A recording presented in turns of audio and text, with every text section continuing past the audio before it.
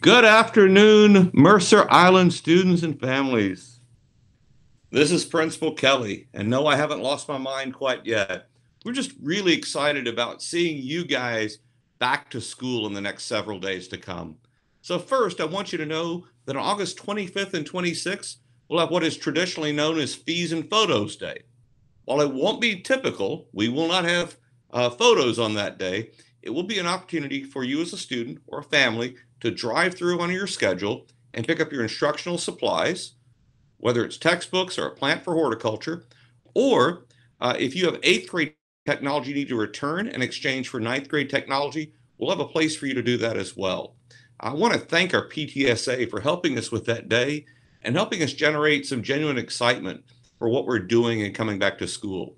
On that note, please take time, uh, make sure that your PTA information is current on their website. If you're new, uh, we'll have information for you posted.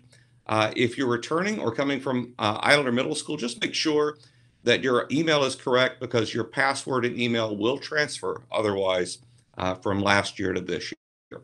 Also, on the 24th, 25th, and 26th, so this coming week, there are volunteer opportunities and chances for you to come to school uh, and help us out and, and do so in a safe and socially distanced way.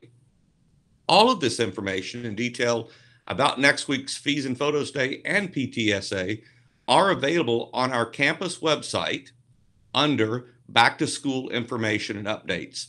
That's the location in which we will provide any updates surrounding this back to school time and during us dealing with remote learning during COVID.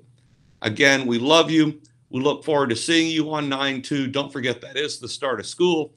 And uh, we look forward to you, a unique start of the year. Hope you're doing well. Take care and have a good weekend.